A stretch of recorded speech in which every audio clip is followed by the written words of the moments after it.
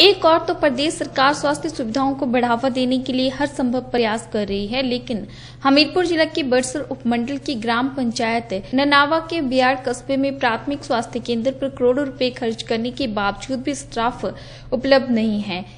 Doctor न होने की वजह से अस्पताल बिरान नज़र आ रहा है। स्थानीय निवासी धनीराम शर्मा का कहना है कि जब लोग बीमार होते हैं तो डॉक्टर न होने के कारण बड़सर में इलाज करवाना पड़ता है।